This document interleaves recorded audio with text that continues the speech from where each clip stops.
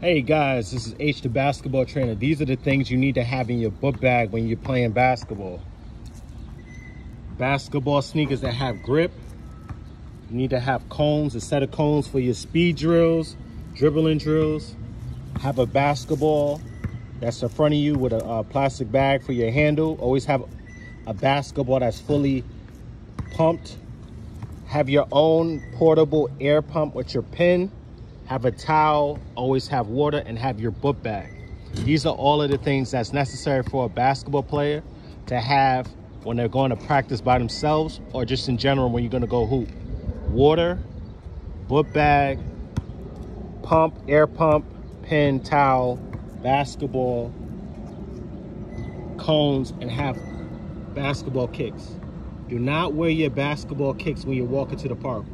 Wear some track sneakers so you could change your basketball sneakers so you'd be able to have sneakers that have grip. This is uh, a Monday. These is things you need to have in your bag when you're going to hoop so you never have to ask people for an air pump, a pen, or a basketball. You have your own. Have a blessed day. This is H the Trainer. These are the things you need to have, essentials you need to have in your book bag. Streetball sneakers, cones, basketball, air pump, pen, and water, in a book bag. Stay up.